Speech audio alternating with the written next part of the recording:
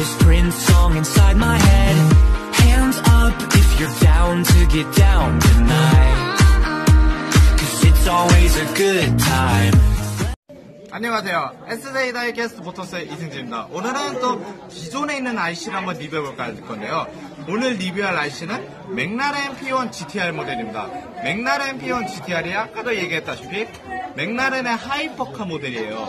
맥라렌 F1의 후속 모델인 이 맥라렌 P1 GTR. 일단 이거의 전 모델인 맥라렌 F1 GTR도 있지만요.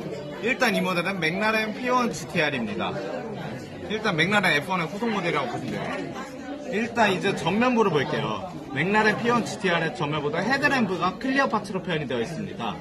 헤드램프도 clear parts 표현이 되어 있고요. 그리고 rear lamp도 잘 안 보일 수 있지만 rear lamp도 사실은 clear parts로 표현이 되어 있습니다. 사실은 이 rear lamp도 사실 clear parts고 머플러도 dual 머플러 도 디테일하게 잘 마감 처리가 되어 있고 이 GT 윙도 상당히 디테일하게 잘 표현이 되어 있습니다. 원래 맥라렌 P1 normal 모델은 GT 윙이 아니에요.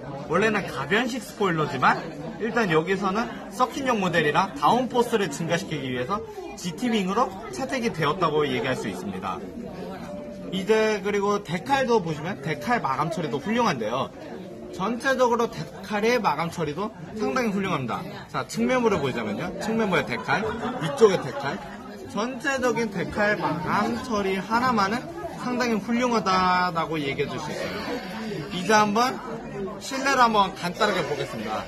자, 실내를 보자면요. 실내를 보자면 상당한 디테일이 보이십니까?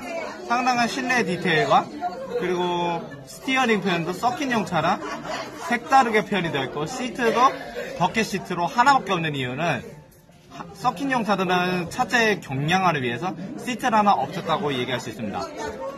그 이유는 반대쪽으로 보시면 알 수 있어요. 반대쪽에 대신 화재 방지를 위해 소화기 기능까지 있다고 얘기할 수 있고 그리고 시트가 하나뿐인 이유는 차체 경량화를 위해서 시트를 하나 없앴다고 얘기할 수 있습니다. 그리고 실내 마감 처리도 상당히 훌륭하게 잘 되어 있죠. 그래서 이제 한번 이 맥라렌 P1 GTR에 대해 제가 total적인 평가를 해보겠습니다. 이 맥라렌 P1 GTR 같은 경우는 솔직히 아쉬운 점이 딱 하나 있어요. 도어가 열리지 않는 것을 제외하고는 아쉬운 점은 없지만 헤드램프도 clear parts 표현에다가 rear lamp도 clear parts가 되어 있고 dual 머플러 게다가 맥라렌 P1 GTR의 상징인 이 GT윙까지 상당히 깔끔하게 잘 표현이 되어 있고 데칼 마감 처리도 상당히 훌륭합니다. 데칼 마감 처리도 정말 훌륭하다라고 얘기할 수 있을 정도의 이 마감 처리도 마음에 들고요. 그리고 실내를 보자면요. 실내도 다이캐스트 뺨치는 정도의 디테일, 다이캐스트를 뺨치는 정도의 디테일이 개인적으로 저도 마음에 들었습니다. 그래서 오늘 맥라렌 P1 GTR RC 리뷰는 여기서 마무리를 짓겠습니다.